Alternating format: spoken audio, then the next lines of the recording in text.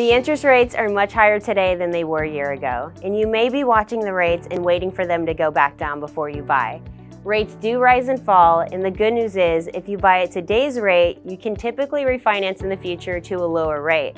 What you can't do is go back in time and purchase that home.